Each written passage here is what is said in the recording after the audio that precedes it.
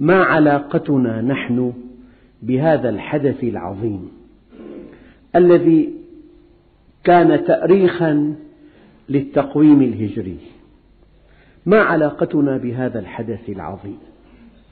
قال تعالى ظهر الفساد في البر والبحر بما كسبت أيدي الناس ليذيقهم بعض الذي عملوا لعلهم يرجعون. فتن كقطع الليل المظلم كما أخبر النبي عليه الصلاة والسلام. أيها الإخوة الكرام الكلمة الفاصلة عبادة في الهرج يعني في الفتن في زمن الفتن في زمن الكاسيات العاريات في زمن الضلالات التي تأتي من خلال القنوات. في زمن أكل المال الحرام في زمن قتل كعقاص الغنم لا يدري القاتل لما يقتل ولا المقتول فيما قتل. في زمن عقوق الوالدين في زمن الانحلال عبادة في الهرج كهجرة إليه. يمكن أن تكون الهجرة أن تهاجر من مكان إلى مكان ولا هجرة بعد الفتح. ولكن يمكن أن تهاجر حينما تهجر ما نهى الله عنه. إذا هجرت ما نهى الله عنه صرت غريبا في المجتمع. وهذا محور الخطبة. ما علاقة الغربة بالهجرة؟ إنك حينما تهاجر إلى الله ورسوله وحينما تعبد الله في زمن الفتن أنت حينما تطيع الله ورسوله وحولك يعصون الله ورسوله. أنت حينما تريد الله والدار الآخرة ومن حولك يريدون الدنيا. أنت حينما تسعى لتحقيق مبدأ عظيم وحولك من يسعى لتحقيق مصلحة كبيرة. حينما تكون الهوة كبيرة بينك وبين من حولك فأنت مهاجر إلى الله ورسوله. عبادة في الهرج كهجرة إليه. حينما تعبد الله في زمن الفتن حينما تعبد الله في زمن الانحلال حينما تعبد الله في زمن الكاسيات العاريات أنت حينما تعبد الله في هذا الوقت مهاجر إلى الله ورسوله. أيها الإخوة الكرام أصل الغربة هذه الآية. قال تعالى فلولا كان من القرون من قبلكم أولو بقية ينهون عن الفساد في الأرض إلا قليلا ممن أنجينا منهم. قلة قليلة تنهى عن الفساد في الأرض. قلة قليلة متمسكة بكتاب الله وسنة رسوله. قلة قليلة لا يضرها من خالفها. قلة قليلة ظاهرون على الحق. قلة قليلة مستمسكون بأصل هذا الدين العظيم. فلولا كان من القرون من قبلكم أولو بقية ينهون عن الفساد في الأرض إلا قليلا ممن أنجينا منهم.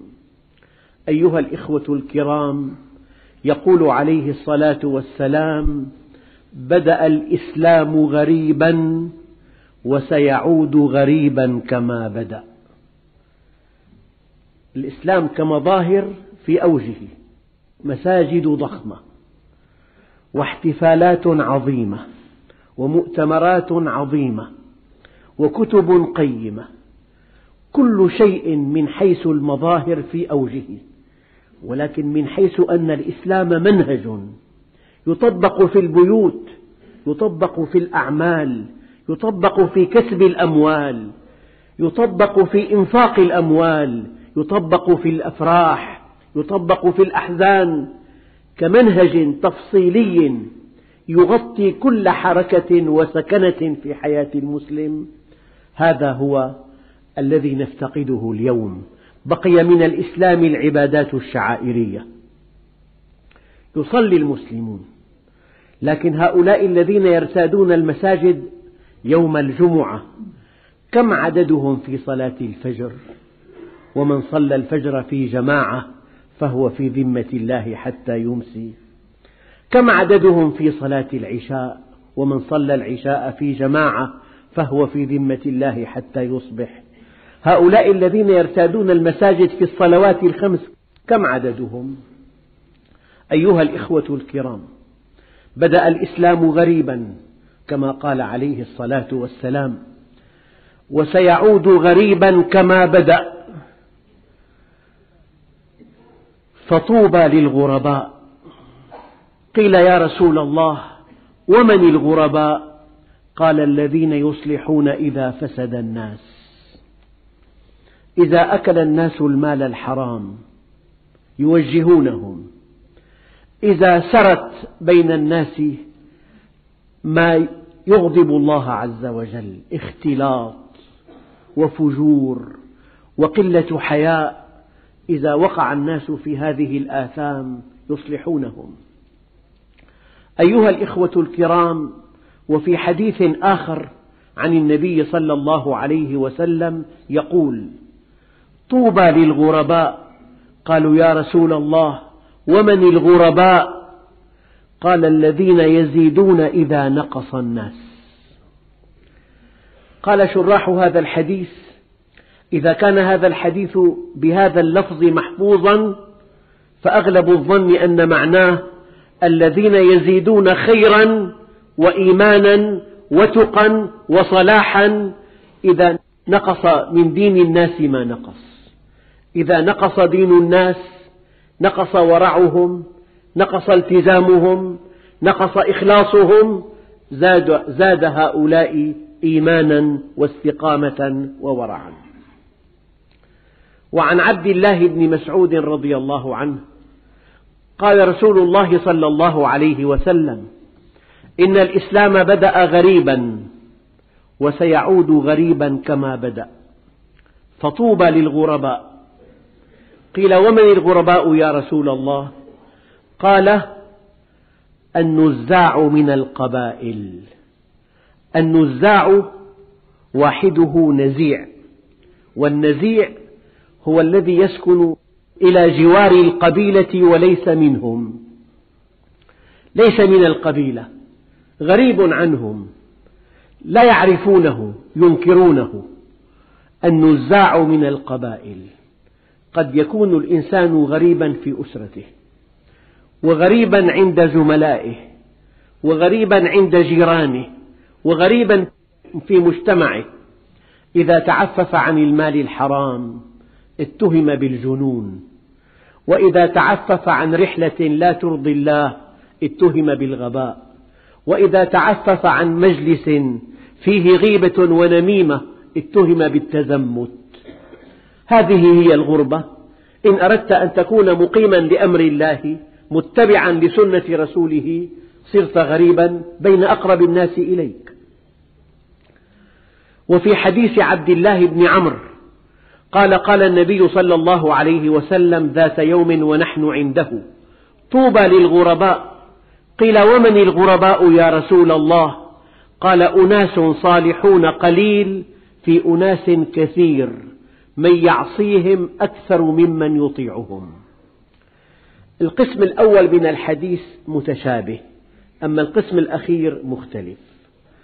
الغرباء الذين يصلحون إذا فسد الناس والغرباء الذين يزيدون إذا نقص الناس والغرباء النزاع من القبائل والغرباء أناس صالحون قليل في أناس كثير. من يعصيهم أكثر ممن يطيعهم. وعن عبد الله بن عمرو عن النبي صلى الله عليه وسلم أنه قال إن أحب شيء إلى الله الغرباء. قيل ومن الغرباء؟ قال الفرارون بدينهم. يفر بدينه إلى جبل شاهق. يتبع به شعف الجبال ومواقع القطر يفر بدينه. يفر بدينه من فتنة من حفلة من لقاء من اختلاط من فساد من منكر من ضلالة. يأوي إلى بيته وإلى مسجده. يصون نفسه. والهجرة أيها الإخوة في حقيقتها هجرة إلى الله. أن تتجه إليه. أيها الإخوة الكرام أنا أبشر كل مؤمن. التزم أمر الله واتبع سنة رسوله بأنه مهاجر وله أجر المهاجر بتعريف النبي صلى الله عليه وسلم للهجرة المهاجر من هجر ما نهى الله عنه. وفي حديث آخر بدأ الإسلام غريبا وسيعود غريبا كما بدأ فطوبى للغرباء. قيل ومن الغرباء يا رسول الله؟ التعريف الخامس قال الذين يحيون سنتي ويعلمونها الناس.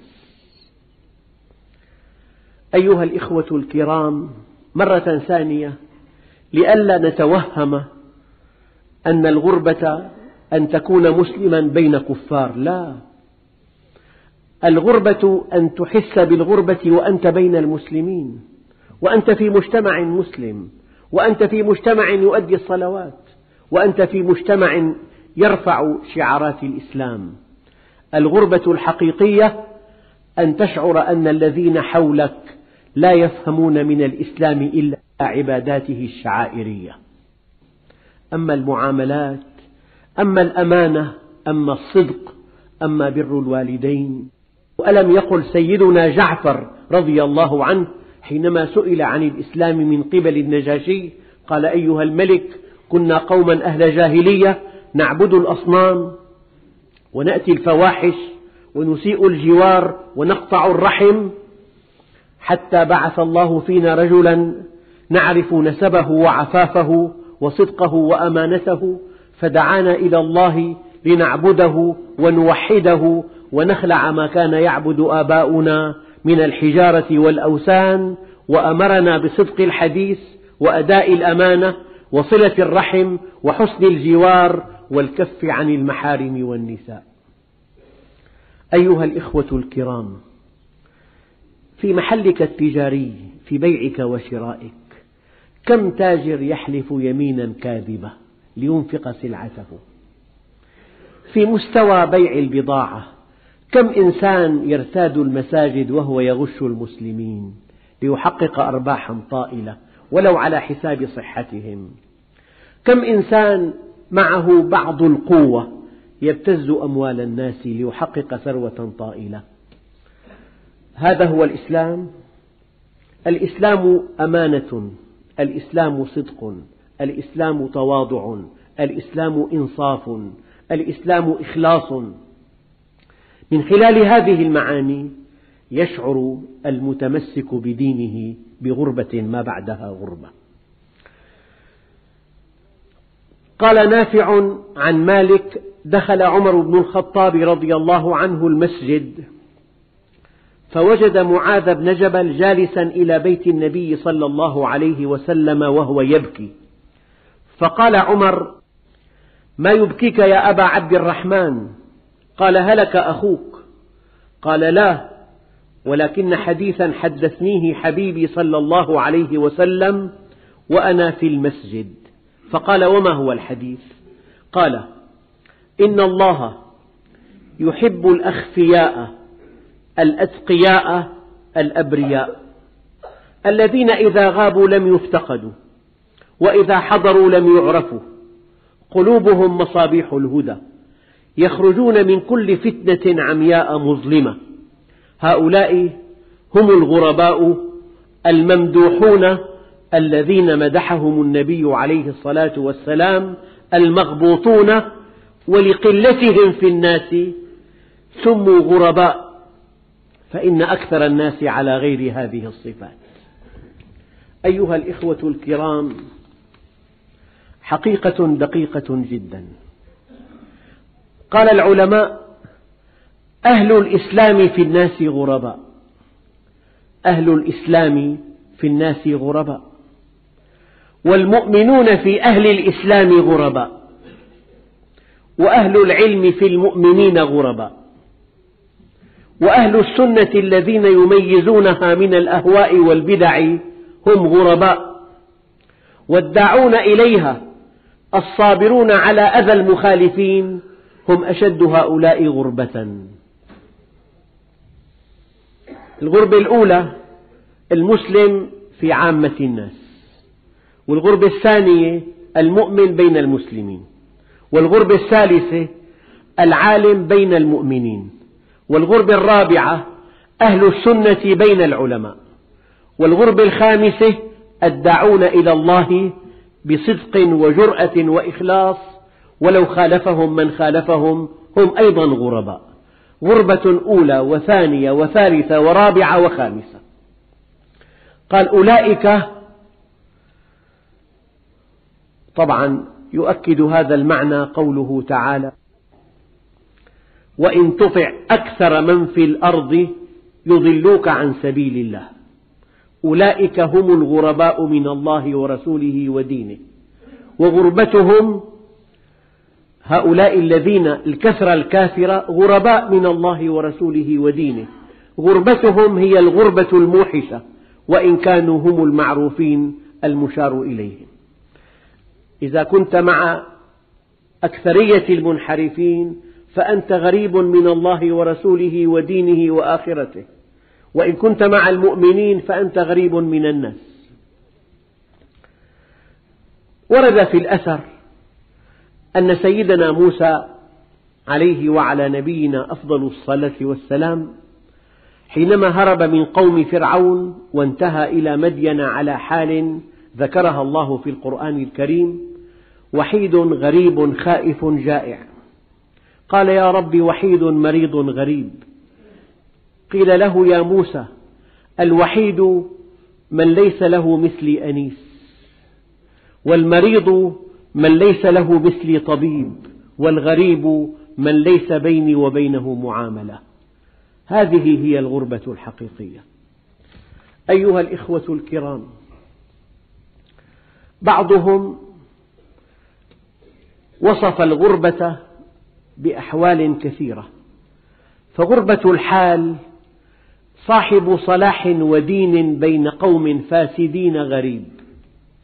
صاحب صلاح ودين بين قوم فاسدين غريب وصاحب علم ومعرفة بين قوم جهال غريب وصاحب صدق وإخلاص بين أهل كذب ونفاق غريب. أيها الإخوة الكرام الصادق هو الذي صدق في قوله وفعله وصدق الحق بقوله وعمله عندئذ انجذب إلى الله عز وجل فكان من سعداء الدارين.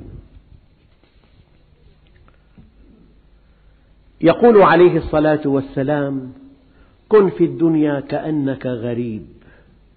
كن من أبناء الآخرة. حينما تنقل اهتماماتك إلى الآخرة فأنت من أبناء الآخرة.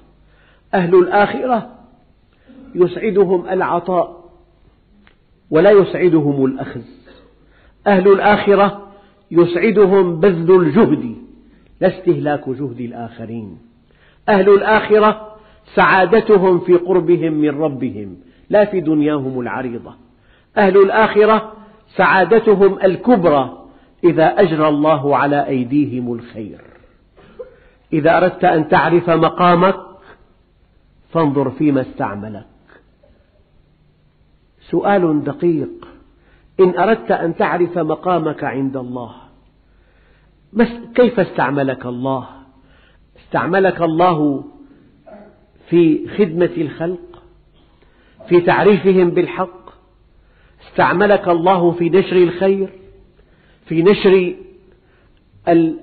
نشر مصالح المسلمين؟ أم استعملك في شيء آخر؟ في أخذ أموالهم أو إذلالهم؟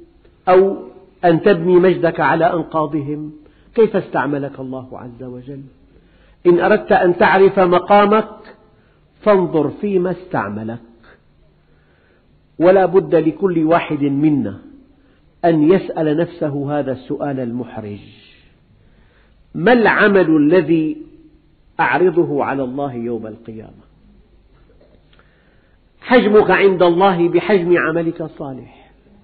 من أنت الذي أكلته وشربته واستمتعت به لا يذكر يوم القيامة؟ ما العمل الذي يمكن أن يعرض على الله عز وجل؟ يوم تبيض وجوه وتسود وجوه. هل دللت على خير؟ هل دعوت إلى الله؟ هل أنفقت من مالك الذي جمعته من حلال؟ في عمل يرضي الله؟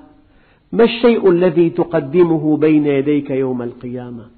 لا جهاد ولا صدقة فبم تلقى الله إذا أيها الإخوة الكرام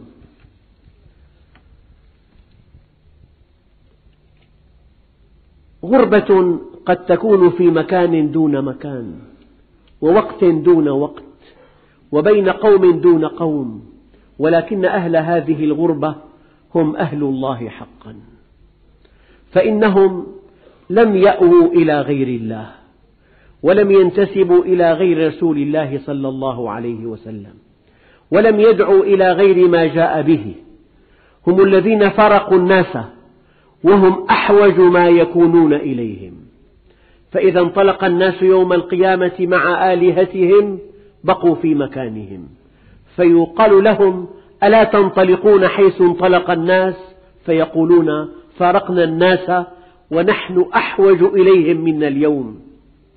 وإنا ننتظر ربنا الذي كنا نعبده. فهذه الغربة لا وحشة على صاحبها بل هو آنس ما يكون إذا استوحش الناس وأشد ما تكون وحشته إذا استأنس الناس. فوليه الله ورسوله والذين آمنوا. يقول عليه الصلاة والسلام عن أبي أمامة عن النبي صلى الله عليه وسلم قال إن أغبط أوليائي عندي لمؤمن خفيف الحاذ يعني حمله خفيف ذو حظ من صلاته أحسن عبادة ربه وكان رزقه كفافا وكان مع الله غامضا في الناس لا يشار إليه بالأصابع وصبر على ذلك حتى لقي الله. ثم حلت منيته وقل تراثه وقلت بواكيه. هذا أغبط أولياء الله عند الله. ومن هؤلاء الغرباء رب أشعث أغبر ذي طمرين لا يؤبه له لو أقسم على الله لأبره. وقال عليه الصلاة والسلام ألا أخبركم عن ملوك أهل الجنة؟ قالوا بلى يا رسول الله. قال كل ضعيف أغبر ذي طمرين لا يؤبه له. لو أقسم على الله لأبره. المؤمن أيها الإخوة في الدنيا كالغريب لا يجزع من ذلها ولا ينافس في عزها. للناس حال وله حال. الناس منه في راحة وهو من نفسه في تعب. قال بعض التابعين التقيت أربعين صحابيا من أصحاب رسول الله. ما منهم واحد إلا وهو يظن نفسه منافقا لشدة خوفه من الله. بينما المنافق يبقى أربعين عاما في حال واحدة. بينما المؤمن الصادق يتقلب في اليوم الواحد في أربعين حالا.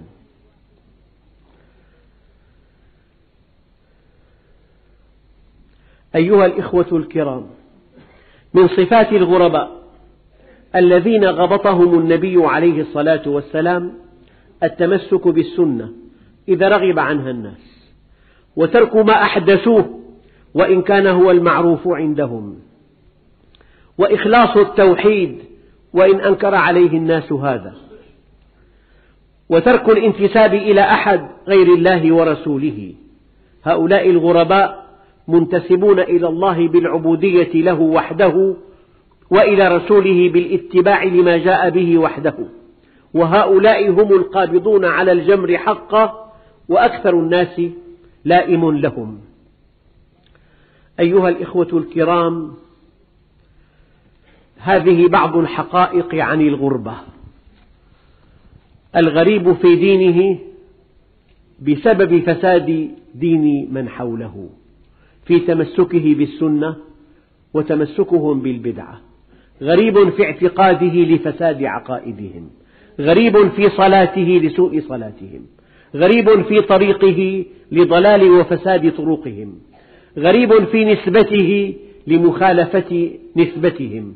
غريب في معاشرته لهم لأنهم يعاشرونهم على ما لا تهوى أنفسهم. أيها الإخوة الكرام عود على بدء أحداث الهجرة ووقائع الهجرة سمعها المسلمون عشرات المرات بل بضع عشرات المرات البطولة أن تسأل نفسك هذا السؤال ما علاقتي بالهجرة؟ علاقتي بالهجرة أنني إذا هجرت ما نهى الله عنه ورسوله كنت مهاجرا حقا. وعلاقتي بالهجرة وأنا في زمن الفتن أن عبادة الله في الهرج كهجرة إلي. وقد قال الله عز وجل ظهر الفساد في البر والبحر بما كسبت أيدي الناس ليذيقهم بعض الذي عملوا. سبعة وخمسين مليون إنسان مصاب بالإيدز ليذيقهم بعض الذي عملوا لعلهم يرجعون. فالغريب من عافاه الله من هذا الفساد. الغريب من عافاه الله من هذه البدع. الغريب من عافاه الله من هذا الانحراف. يا أيها الإخوة الكرام كونوا واقعيين. لا تجعل الإسلام تاريخا. اجعله واقعا. إذا فهمنا أحداث الهجرة ووقائع الهجرة وذكرنا ما جرى في الهجرة فهذا تاريخ. أما إن جعلت الإسلام واقعا إن قلت ما علاقتي بالهجرة؟ ينبغي أن أكون في عداد المهاجرين. دون أن تنتقل من بلد إلى بلد أن تحافظ على دينك وأنت في بلدك أن تأوي إلى بيتك فتعبد الله فيه وأن تأوي إلى مسجدك فتعبد الله فيه. أما الأماكن التي لا ترضي الله ينبغي أن تهجرها. وأما الكسب الحرام ينبغي أن تهجره وأما الجلسات التي لا ترضي الله يجب أن تهجرها وأما اللقاءات التي تغضب الله ينبغي أن تهجرها فأنت مهاجر.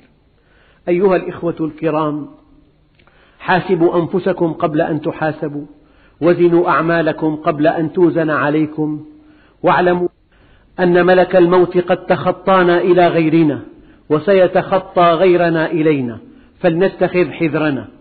الكيس من دان نفسه وعمل لما بعد الموت والعاجز من أتبع نفسه هواها وتمنى على الله الأماني والحمد لله رب العالمين